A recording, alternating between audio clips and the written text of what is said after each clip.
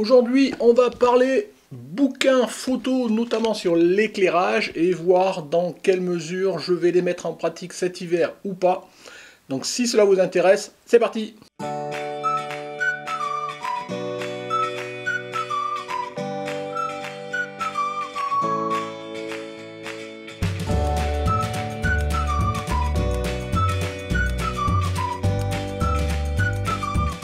Bonjour, bienvenue sur Jeff Photographique. Comme je vous le disais en introduction, aujourd'hui on va parler bouquins. Alors si vous me suivez, voilà, je vais faire un petit retour en arrière de quelques vidéos où je vous disais que j'avais un petit budget, quelques centaines d'euros, voilà, à potentiellement dépenser, que je voulais pas trop les dépenser parce que quelque part j'avais tout, j'étais bien équipé, j'avais pas beaucoup de besoins.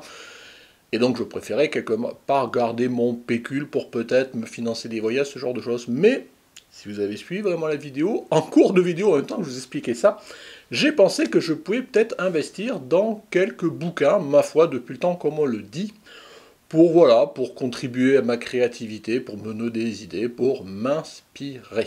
Donc indépendamment de cette vidéo, je veux dire, cela fait des années que l'on me plébiscite les livres, notamment sur l'éclairage de Nat Sakura. Donc je me suis dit, tant qu'à acheter un bouquin ou deux, bah, je vais tester ce de Nat Sakura, ça me permettrait de voir, elle fait beaucoup de bouquins sur l'éclairage, c'est en rapport avec ce que moi j'aime bien faire, que ce soit en extérieur, en intérieur, en studio, que ce soit du portrait, que ce soit de la composition avec des objets. Donc ma foi, je suis allé, j'ai commandé deux bouquins, et ces bouquins, je vous en parler brièvement là, et surtout de ce que moi, je, ça va m'apporter, ce que je vais en faire. Donc ces deux bouquins, alors, avant de vous présenter cela, je vais dire que généralement, la plupart des. Quand on parle de Natsakura, on parle de, ces bouquins qui sont un peu best-sellers, qui sont connus. Alors je sais pas, je me suis noté comment il s'appelait. C'est La photo dans tous ses états. Voilà, c'est un bouquin souvent, je sais pas si c'est le premier qu'elle a fait. En tout cas, c'est souvent celui-là qu'on met en référence. C'est un bouquin qui est en deux tomes. Je vous mets ici voilà, les, vignettes des bouquins, si pour ceux qui les connaissent. Si vous les avez déjà, bah, voilà, vous devez les connaître. Moi, c'est pas du tout là-dessus que je suis parti. J'ai regardé, elle a dû faire 7 ou 8 bouquins. J'ai trouvé deux autres bouquins qui m'intéressaient, ma foi. Je vais vous les présenter vite fait. Donc le premier, alors hop, je vais essayer de voir. Voilà, donc c'est un livre sur l'éclairage pour la photo. J'essaie de voir là. La photo d'objets. Donc vous savez que j'aime bien faire des compositions, notamment l'hiver quand il fait pas beau en intérieur. Donc voilà, ça va me donner des idées, notamment bah, pour améliorer bah, toute la partie éclairage. Le deuxième bouquin, je ne vais pas trop m'attarder aujourd'hui dessus. C'est un bouquin, hop, voilà, donc ça, voilà, donc c'est sur le portrait et l'éclairage, que ce soit en intérieur, mais pas mal quand même en studio aussi. Donc pareil, ça va me donner des idées, ça va me donner pas forcément de composition ou de pose, ce genre de choses, mais d'éclairage pour essayer de faire des choses différentes en fonction de choses que moi j'ai toujours appris en improvisant un petit peu. Voilà, peut-être que ça me mettra des bases après tout. Moi, je voilà. Pourquoi pas? Bon. Celui-ci, donc je leur montre. Donc pareil, hein, voilà, je vous en reparlerai euh, sûrement une autre fois dans une autre vidéo. Bon ben voilà, bon, on va pas trop en parler plus que ça, mais sachez que voilà, j'ai investi là-dedans. Et puis bah, s'il y en a que. Avez des questions à me poser sur ces bouquins-là, bah, n'hésitez pas, pour l'instant j'ai pas trop feuilleté. On reviendra sur l'usage que moi je vais faire de ce bouquin-là et voire même l'autre. Donc, vous l'aurez compris, aujourd'hui on va plutôt parler photo d'objets et essentiellement de l'utilisation de ce livre. Alors, je ne l'ai pas lu, euh, je me c'est pas mon livre de table de chevet, d'ailleurs je lis très peu.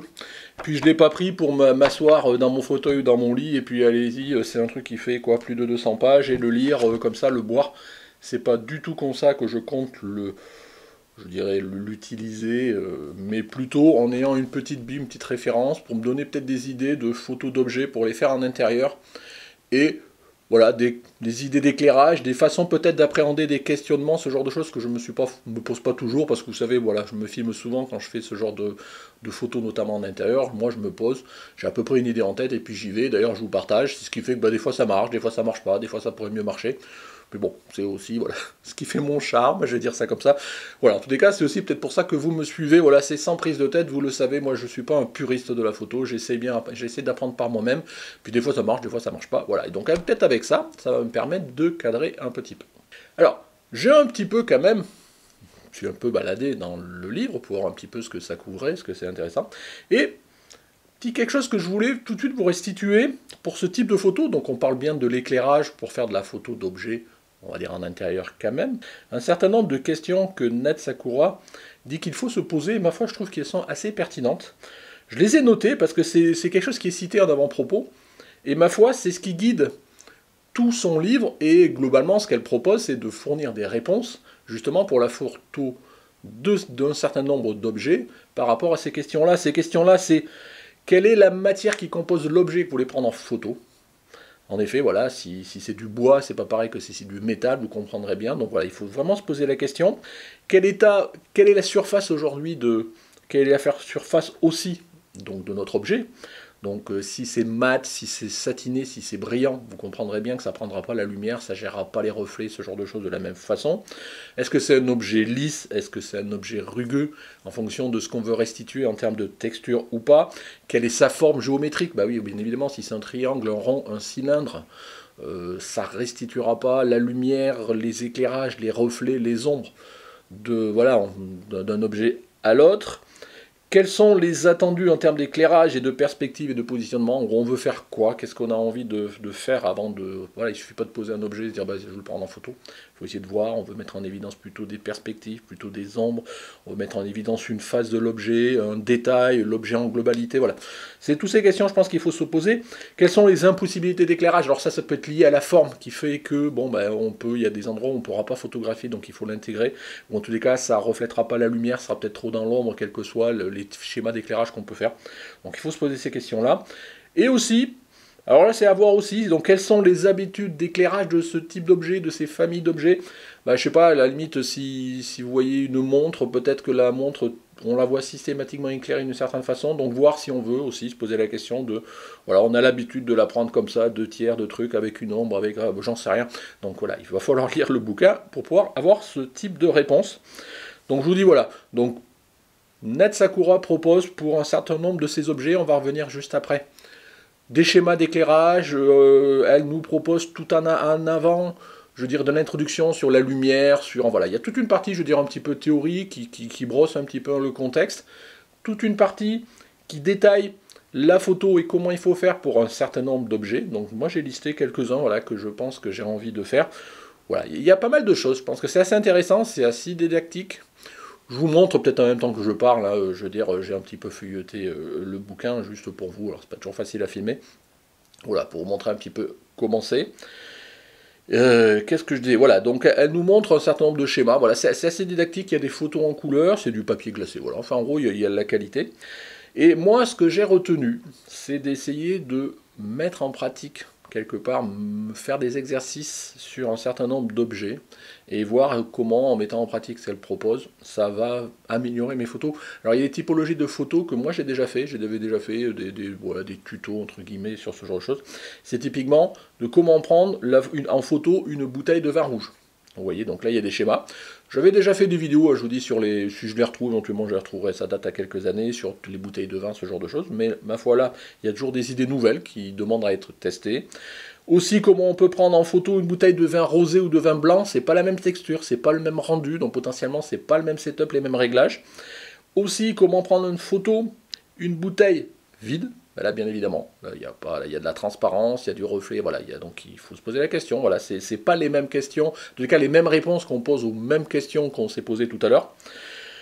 Il y a toute une partie sur la photo culinaire, donc là pareil, vous savez, j'aime bien faire ça, donc on va essayer de regarder ce que ça peut m'amener, même si j'ai l'impression que ça, survole assez, mais bon, je ne l'ai pas encore rentré en détail, je vous dis, moi je regarderai au fur et à mesure que je voudrais me, me mettre dans le sujet.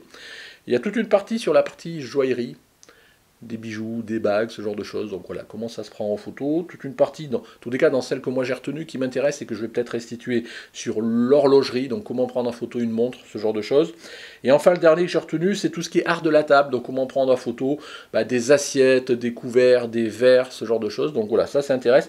Donc ouais, globalement, 7-8 sujets parmi plein d'autres hein, que moi j'ai retenu et sur lesquels je vous propose, je pense que je vais essayer de les mettre en pratique avec vous. Voilà, je vais faire comme d'habitude, je vais me filmer. Vous savez, de durant ces longues semaines d'hiver là qui, arrivent, on va essayer voilà, de, de, faire des exercices, de faire ce type de photos en suivant, je dirais, quelque part les directives de notre Sakura par rapport à son bouquin, et on va voir si ça nous permet de faire de superbes photos, ce que j'espère.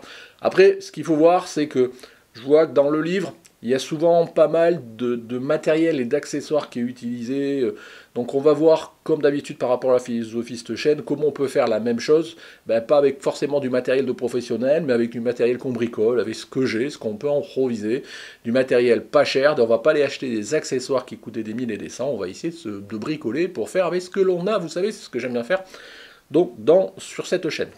Donc voilà, donc un peu de teasing sur des choses que l'on va faire par rapport aux idées qui sont dans ce bouquin-là, je pense cet hiver, est-ce qu'on fera tout On fera peut-être l'année d'après. Voilà. C'est un petit peu ça que je voulais mettre en évidence dans cette vidéo.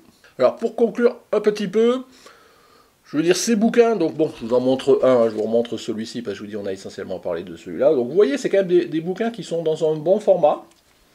Donc je vous disais, euh, c'est bon, moi je, vous, avais montré des photos ou, un bout de film, hein, c'est quand même pas mal documenté, il y a des schémas, il y a des photos en couleur, c'est du papier glacé, voilà, je pense que on en a, hein, j'espère, pour son argent, parce que c'est quand même des bouquins qui valent 29 euros, enfin, en les cas, moi, c'est le prix que j'ai payé, autant l'un que l'autre.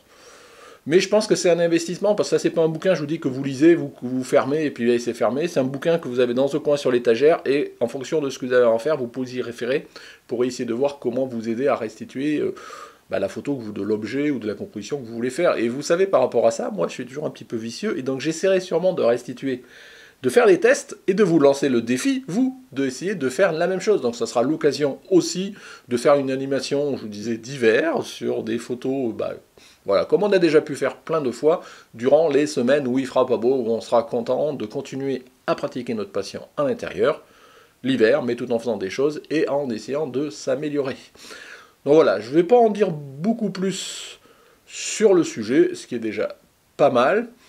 Donc si vous avez déjà des bouquins de Natsakura que vous avez déjà lus, que vous avez déjà mis en pratique, vous avez des remarques à faire, en bien, en positif ou en négatif, en restant correct, n'hésitez pas à les mettre en commentaire, hein. c'est fait pour ça. Moi je vous dis petit à petit on y reviendra, je vous citerai, je vous dirai, voilà, peut-être je repartirai de schéma quand je ferai les vidéos, je vous les, présenterai, on va dire on va essayer de restituer ça, de restituer ça, et on va voir après comment j'arrive à le faire, on verra dans ces vidéos à venir. Voilà, donc si cette vidéo vous a plu, comme d'habitude, n'hésitez pas à mettre un pouce bleu, si vous n'êtes pas abonné, vous voulez me suivre.